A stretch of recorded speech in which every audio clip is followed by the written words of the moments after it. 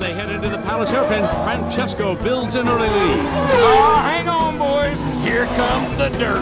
Slipping and sliding, baby. McQueen, it's time to make your move. Get on the outside and show 'em what Doc done taught you.